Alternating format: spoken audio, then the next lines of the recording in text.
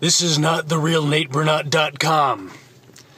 This is not the real NateBernot.com. Attention. Attention.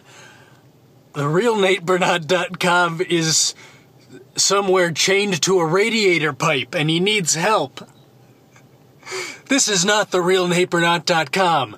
The real NateBernot.com is in danger. His life is in danger and he needs your help. Help him. Help him. Send your letters. Send your emails. Call your congressman. The real NateBernot.com is in danger. He's in danger.